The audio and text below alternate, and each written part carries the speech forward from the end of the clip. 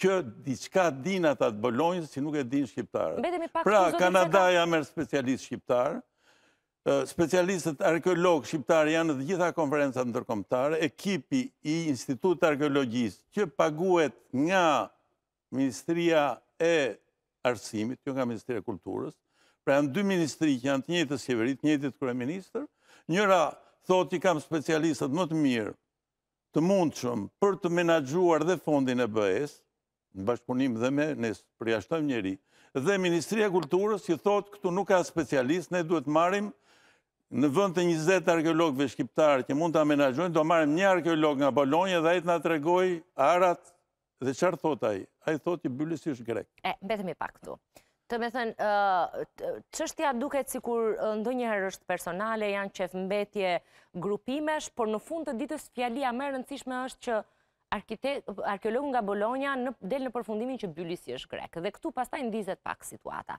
Ta shpjegojmë pak më mirë për teleshikuesin, se ngaqë ju jeni i përfshirë në këtë fushë, në këtë lloj problematike e dini shumë mirë për çfarë projekt, për çfarë projekti bëhet fjalë? Jo, bëhet projekt, bëhet fjalë për një projekt që ka 3 vjet që ka dalë. Është një projekt i kujt? Pra është një projekt i BE-së. I BE-së. 6 milion euro që janë caktuar për Bylisin dhe impaktin që do ketë Bylisi në rajonin e Mallakastrës për zhvillimin e turizmit kulturor. E qartë.